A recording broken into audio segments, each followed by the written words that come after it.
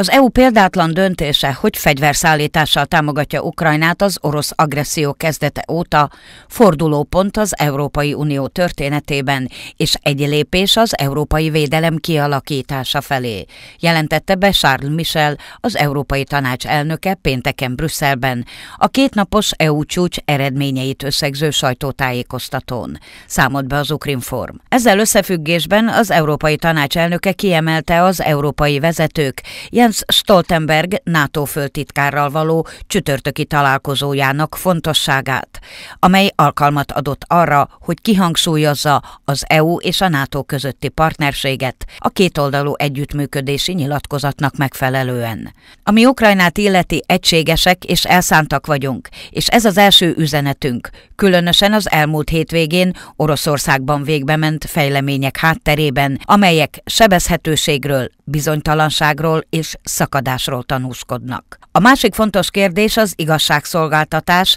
és az elszámoltathatóság biztosítása orosz háborús bűnök kapcsán. Ezen a téren az EU szorosan együttműködik globális partnereivel. A harmadik pont a biztonsági garanciák.